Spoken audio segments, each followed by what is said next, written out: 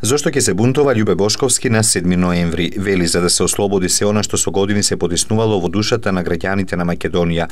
Тие пателе, страдале, трпеле едни режими, други режими. Сега дошло време да се ослободат од стегите. Шансат им ја даваат обединети за Македонија.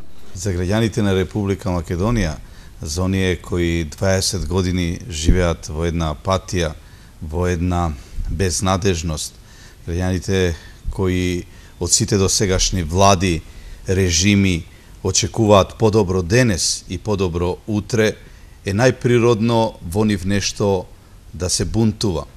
Иако беше дел од владата на ВМРО ДПМН, кога Георгиевски беше премиер, тој вели дека немал политичка функција во партијата, за и тој да биде дел од тоа владење кое денеска го критикува.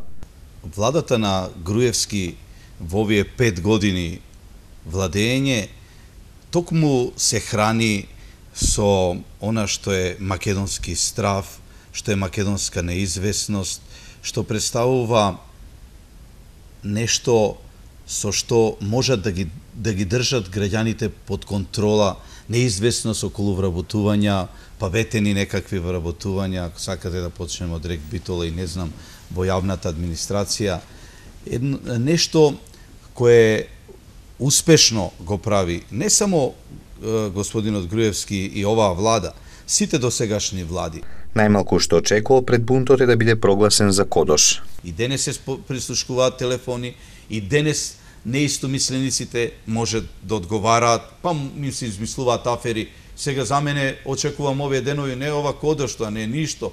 Кој знае уште колку не афери ќе изнесат во овие 3-4 дена Пред дали, бунтот? Да, пред бунтот, дали сум шверцал со оружје, дали со ориз. Тој верува дека и неопределените и оние на кои им се смачило од црнобелите влади на ВМРО ДПМН и СДСМ ќе бидат со него на неделниот митинг.